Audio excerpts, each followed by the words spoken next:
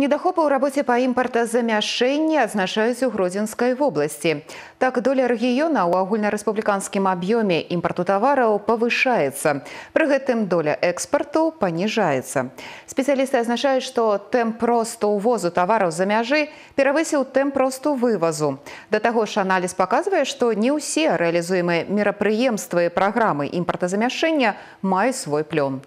Так у гродзенскай вобласці па гэтай праграме працуюць 32 прадпрыемствы. Пасля праверак дзяржкантролю высветлена, што больш за 10 інвестыцыйных праектаў, накіраваных на паніжэнне ўвозу тавараў за мяжы, рэалізуецца неэфектыўна, а 5 раёнаў вобласці увогуле не ўдзельнічаюць у праграме. В Рогознице э, на крахмальном заводе была внедрена новая линия.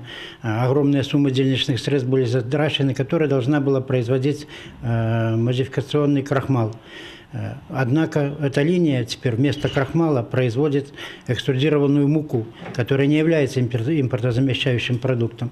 Еще одно предприятие, которое, может быть, надо было бы назвать Лида хлебопродукт. Когда-то еще с 2010 года там начали реализовывать э, проект по производству макарон э, группы А таких. Ну, на самом деле проект не реализован, совсем другие макароны там сегодня производятся. Но и по ним производственные мощности загружены только наполовину. У выніку, як было адзначана на калегіі дзяржкантролю, імпарт гэтых прадуктаў па краіне вырас удвая.